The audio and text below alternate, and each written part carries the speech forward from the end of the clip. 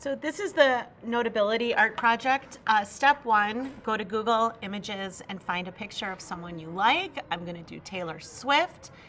I'm gonna save it to my photos. I'm going to open up Notability, make a new Notability, and I am going to insert the image of Taylor Swift. There it is. I'm gonna stretch it out just a little bit. There's my picture. And then using uh, the pen tool, I'm gonna select pen and choose a color.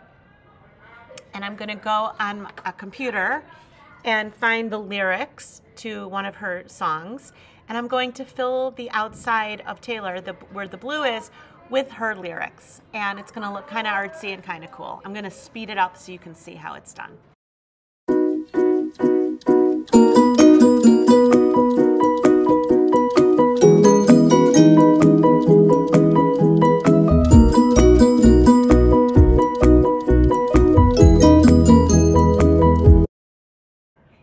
Once you're finished, take a screenshot and turn it in into your project planner.